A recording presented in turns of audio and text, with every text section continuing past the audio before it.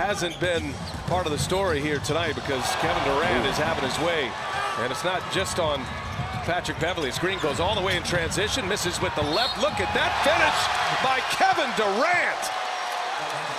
A falling down rebound and shot. The athleticism to pull that off.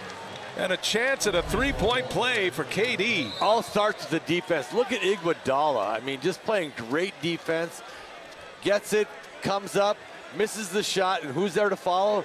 KD.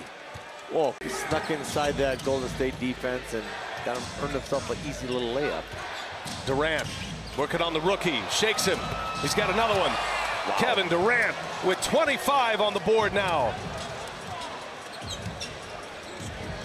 He has scored the last nine points. There's a give. Williams to Montrezl Harrell. Great pass by Lou. I thought he had bobbled it. I thought it was a turnover coming. They found Harrell. And a foul on Gilgeous-Alexander.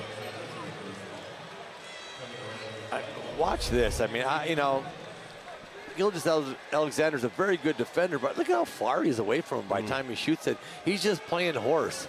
Uh, running guys off from the ability